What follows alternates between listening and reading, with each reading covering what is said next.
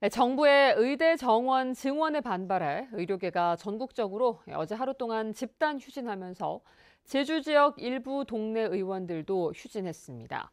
네, 휴진에 참여한 의원이 많지는 않아 우려했던 큰 혼란은 없었지만 도민들의 불편이 이어졌습니다. 이따금 기자가 보도합니다. 문이 굳게 닫힌 제주 시내 한 내과. 피치 못할 사정으로 휴진한다는 안내문이 붙었습니다. 또 다른 건물에는 비뇨기과와 소아과 두 곳이 문을 닫았습니다. 성산에서 제주시까지 비뇨기과를 찾아온 환자는 휴진 안내문을 읽어보고 발길을 돌렸습니다. 18일 하 원장 개인 사정을 휴진합니다. 오늘 18일 내일 할 건가? 다른 동네 소아과도 문을 닫긴 마찬가지. 아이를 데리고 진료를 보러 온 부모는 다른 병원을 찾아가야 했습니다. 어, 아기가 수두 의심이 돼서 병원에 왔는데 어, 이렇게 지금 문이 닫혀 있어가지고 너무 당황스러워가지고 이제 병원을 투어를 다녀야 될 것 같아요.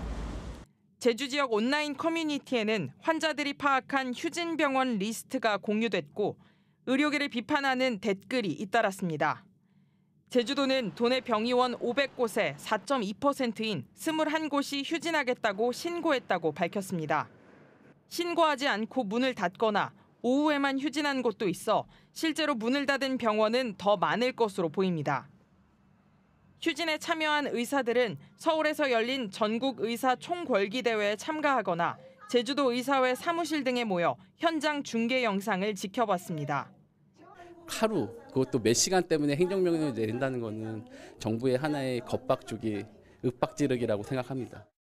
제주대병원과 한라병원 등 종합병원들은 휴진에 참여한 의사가 없어 정상적으로 진료했다고 밝혔습니다. 도내 보건소와 공공의료기관들은 진료 시간을 2시간 연장했습니다. 제주시와 서귀포시는 도내 병의원에 업무 개시 명령을 내렸지만 정부의 방침에 따라 휴진한 병원 명단은 공개하지 않았습니다. MBC 뉴스 이따금입니다. 농지법 위반 혐의를 받고 있는 강병삼 제주시장의 재판이 시작됐습니다.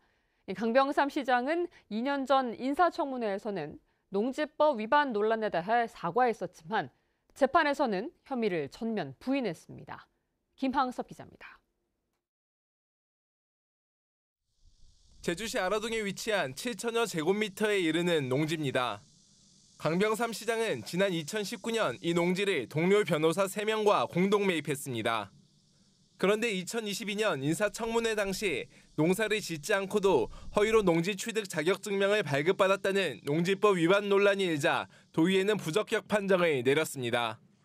강병삼 시장은 농민들에게 사과하고 농지는 처분하겠다고 약속했고 오영훈 제주도지사는 임명을 강행했습니다. 재산 증식의 목적이 없다고 그렇게 단언해서 말씀드릴 수는 없겠습니다. 하지만 농지법 위반 혐의로 기소된 강병삼 시장은 첫 공판에 혐의를 전면 부인했습니다. 농지를 시세 차익 목적으로 매입하지 않았고 농지 취득 자격증명도 거짓이나 부정한 방법 없이 발급받았다는 겁니다. 시장 임기 2년이 이달 말로 끝나지만 농지를 처분하겠다는 약속도 어겼습니다. 앞으로 성실히 재판 임하도록 하겠습니다. 좀 예, 못했습니다. 예. 현명하게 잘 처분하도록 하겠습니다. 오영훈 도지사는 강병삼 시장 임명 당시 논란이 일자 후보자 사전 검증과 도의의 동의 절차 강화 등 제도 개선을 추진하겠다고 약속했습니다. 각종 법률 위반과 관련된 의혹과 관련된 어, 검증할 수 있는 시스템을 어, 제도적으로 개선해야 되겠다는 의지를 말씀드린 겁니다. 하지만 제주도는 행정시장 후보자가 스스로 도덕성 검증 체크리스트를 제출하는 과정만 추가했을 뿐 객관적으로 검증할 수 있는 대책은 내놓지 않았습니다. 새로운 제주시장과 서귀포시장 후보자 인사청문회가 이달 말에 열리지만 후보자 검증이 제대로 이뤄질지 이번에도 장담할 수 없게 됐습니다. MBC 뉴스 김항섭입니다. 오영훈 제주도지사의 중국 백통신원 리조트 방문 논란과 관련해 김경학 제주도의회 의장에 도지사가 솔직히 말해야 한다고 말했습니다. 김경학 의장은 전반기 의장 마무리 기자회견에서 도지사는 때와 장소를 가리지 않고 다양한 사람을 만날 수 있지만 도민들이 궁금해하는 부분에 대해서는 솔직하게 말하는 것이 좋을 것 같다고 말했습니다. 또 도지사가 솔직하게 말했다고 하는데 도민들이 이해를 잘 못하는 건지 아니면 나머지가 있는 건지 모르겠다고 말했습니다. 최근 SNS를 통한 마약 거래가 빠르게 확산되면서 제주에서도 마약을 투약하다 적발되는 사례가 늘어나고 있는데요. 집에서 흘러나온 하수를 분석해 보니 다른 지역보다 마약 사용량이 많은 것으로 확인됐습니다. 이소연 기자입니다. 제주에서 가장 규모가 큰 하수 처리장. 하루 14만 톤의 생활하수가 모이는 곳입니다. 식품의약품 안전처 마약연구 용역팀이 하수 처리장을 찾았습니다. 정화하기 위해 모아둔 생활하수 속으로 호수를 집어넣은 뒤 3리터짜리 통에 시료를 채취합니다. 하수에 사람의 대소변에서 섞여 흘러나온 마약 성분이 있는지 추적하는 겁니다. 이처럼 장비를 이용해 분기별로 4차례 하루 동안 1시간 간격으로 하수를 채집해 마약 성분과 일일 사용 추정량을 분석하는 겁니다. 하수에 섞여 있는 마약 성분의 농도를 분석하면 제주에서 실제로 사용된 마약의 양을 추산할 수 있습니다. 하수 유량, 해당 지역의 인구수, 인체 대사율을 고려해 인구 1000명당 사용하는 양을 계산하여 제시함으로써 어느 지역에서 어떤 마약류가 얼마나 사용되고 있는지를 추정해 보는 것이죠. 식약처 조사 결과 제주 지역 하수에서는 필로폰과 암페타민 등 마약류가 4년 연속 검출됐습니다.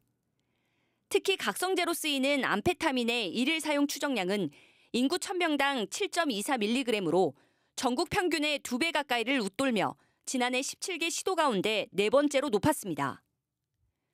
재작년 도내 마약류 사범 증가율도 전국 11개 권역 가운데 세 번째로 높았습니다. 제주 지역은 관광지이자 섬 지역입니다. 그래서 내국인 관광객이라든지 외국인 관광객들이 굉장히 많이 찾아주시고 계신데요. 이런 일시 체류객들에 의한 마약 범죄 증가율도 주목할 필요가 있겠습니다. 해마다 제주 지역 하수에서 마약 성분이 검출되고 관련 범죄도 급증하는 가운데 대책 마련이 시급해 보입니다. MBC 뉴스 이소연입니다.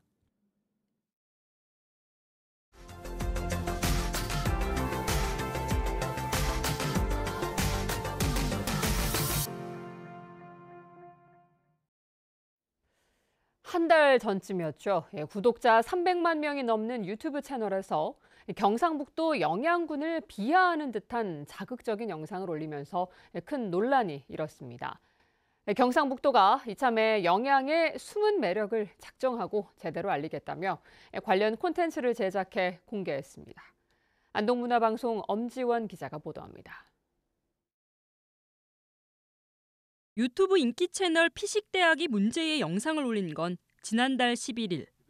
경상도에서 가장 작은 도시에 왔다는 제목의 영양군 여행 영상이었는데 영상 속 자극적인 발언이 문제였습니다.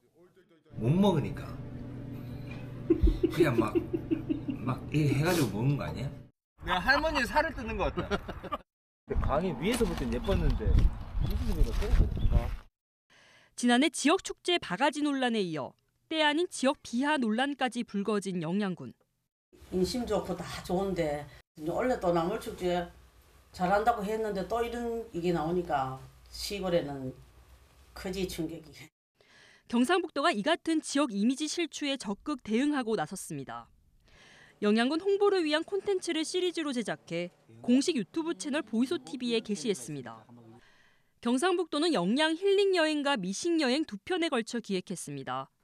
공개된 1편은 느리게 걷다 보면 보이는 것들을 주제로 레트로 감성이 느껴지는 영양 읍내와 조선 3대 민가 정원인 서석지, 선바위 밤하늘공원 등 영양의 자연 문화유산, 숨은 명소 등을 담았습니다. 영양군은 어, 여유롭고 그리고 건강한 매력이 넘치는 그런 곳입니다. 어, 그런 그 매력이 잘 살아날 수 있도록 콘텐츠를 어, 영상미가 넘치도록 제작을 했고 2편 미식여행편도 조만간 공개하고 다양한 채널을 통해 영양군의 이미지를 지속적으로 개선할 계획입니다. 또 영양을 시작으로 제작 여건이 열악한 도내 농촌 시군의 관광 콘텐츠 제작을 꾸준히 지원할 방침입니다. 나아가 경상북도는 조회수를 의식한 왜곡된 지역 콘텐츠가 노출되고 있다며 이에 대한 대응 방안을 검토하고 있습니다. 그동안 유튜브 등을 통해서 뉴미디어 플랫폼에서 정확한 지역 조사 없이 지역 비하가 종종 이루어지고 있었습니다.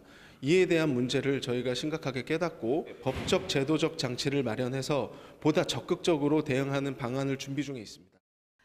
콘텐츠의 홍수 속 우리가 무심결에 소비하던 영상에 소멸 위기를 온몸으로 맞닥뜨린 지역 현실에 대한 몰이해와 수도권 중심주의적 시각이 깔려 있는 건 아닌지 돌아볼 필요가 있어 보입니다. MBC 뉴스 엄지연입니다.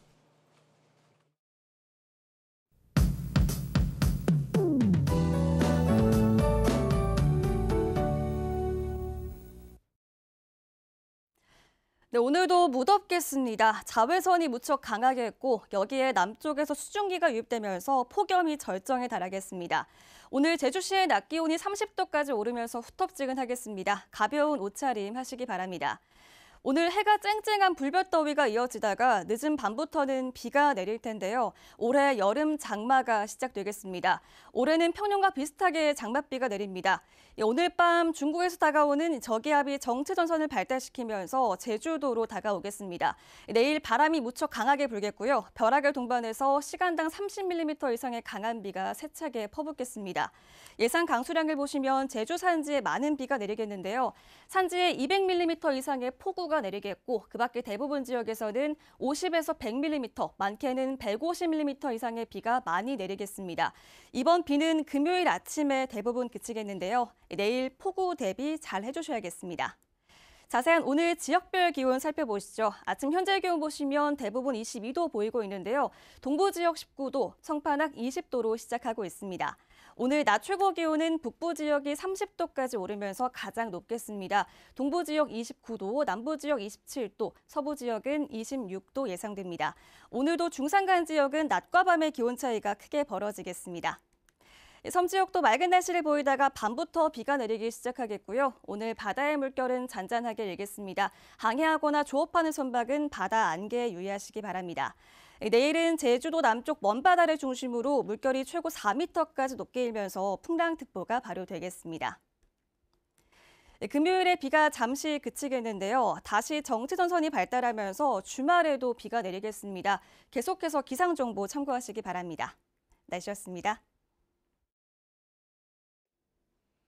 제주에서 과잉 생산된 신재생 에너지를 활용하는 실증 사업이 추진될 것으로 보입니다. 김희집 서울대 국제대학원 초빙 교수는 제주 국제 컨벤션 센터에서 열린 그린 수소 포럼에서 신재생 에너지로 수소를 생산해 수소 버스와 트램 등에 공급하거나 배터리에 저장하는 제주형 분산 에너지 활성화 전략을 발표했습니다.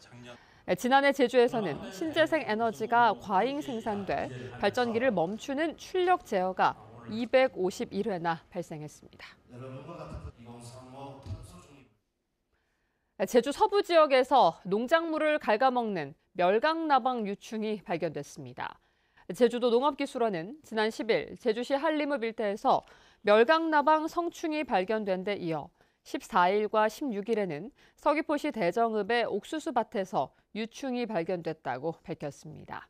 멸강나방은 여름철에 중국에서 날아와 제주에서 번식한 뒤 유충이 농작물의 잎을 갉아먹는데 제주도는 철저한 방제를 당부했습니다. 제주 민예총과 한국예총 제주도 지회는 성명을 내고 제주도정은 구시대적 예술 통제 정책을 철회하라고 요구했습니다.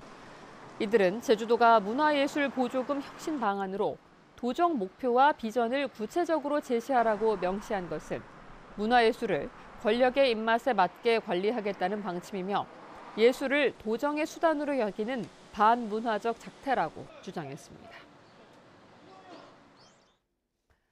제주도 교육청의 제2부교육감 직제 신설과 관련해 현장 교사 모임이 입법안 부결을 촉구하고 나섰습니다. 제주 중등 현장 교사 모임은 보도자료를 내고 제주도의회 교육위원회가 제2부교육감 설치 입법안을 부결하라고 요구했습니다. 이들은 지난 2007년 다른 시도와의 균형 유지와 업무량 등을 이유로 제2부교육감 설치 입법 예고안을 부결시켰던 것과 같이 이번에도 명분 없는 입법안을 부결해야 한다며 교사 대상 여론조사를 실시해 도의회 의장 등에게 의견을 전달하고 입법 예고 기간에 1인 시위를 이어가겠다고 밝혔습니다. 제주 지역의 성평등 지수가 상위권으로 나타났습니다. 여성가족부가 2022년 기준 전국 17개 지자체의 성평등 지수를 측정한 결과 제주는 전체 8개 분야 가운데 고용과 소득, 돌봄 등 3개 항목에서 모두 전국 1위를 하며 6년 연속 상위 등급을 유지하고 있습니다.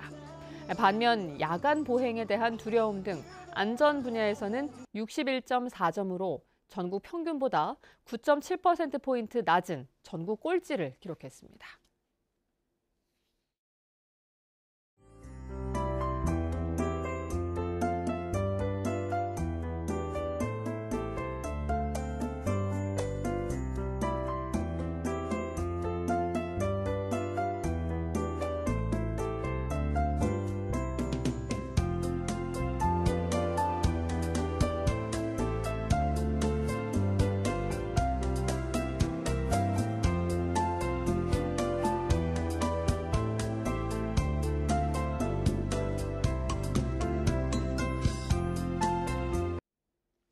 뉴스투데이 제주였습니다. 여러분 고맙습니다.